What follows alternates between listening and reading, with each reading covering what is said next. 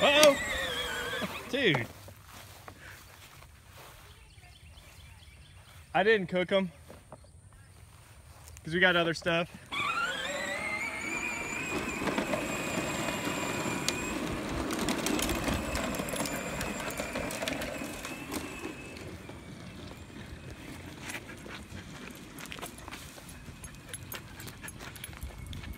Man overboard.